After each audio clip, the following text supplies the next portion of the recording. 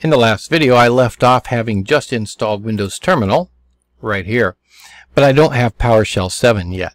I do have the old Windows PowerShell in here. If I right-click on the Start menu, you can see Windows PowerShell, but I don't have PowerShell 7, which is the open source one, and installs alongside Windows PowerShell. So let's do that. Let's install it. I'm just going to go to the browser, any browser. In this case, it's um, Edge, Microsoft Edge, because that's what is already on this virtual machine, and I haven't installed Chrome or Firefox on here. I don't want to restore any pages, no thank you. And I'm just going to, let's see, got it, okay. Um, let's just click that.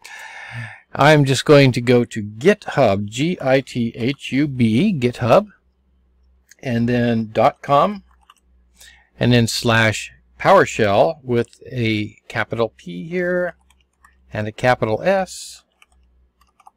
And then a slash and then PowerShell again. Like that. github.com PowerShell PowerShell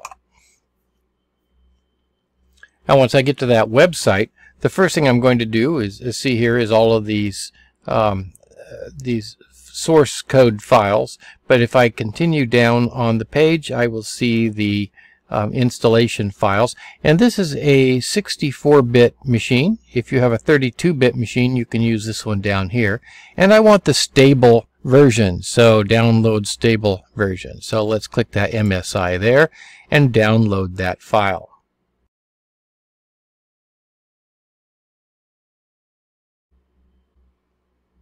Alright, so there's our file. I'm just going to go ahead and open the file and go ahead through these this wizard here and it's going to install in program files PowerShell. I am going to click this right here. I'm going to click most of the defaults, but in this case add run with PowerShell 7 context menu for PowerShell files. So I'm going to go ahead and click that box as I go through this and click next. We'll go ahead and leave these at the default and install.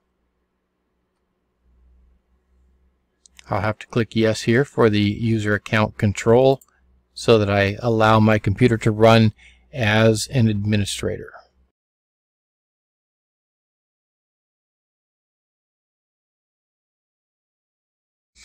Installation is complete and I'm not going to launch PowerShell right now so I'm not going to check this checkbox and let's go ahead and close the browser window. We don't need that anymore. Now if I run the terminal command again, let's go ahead, go up to terminal.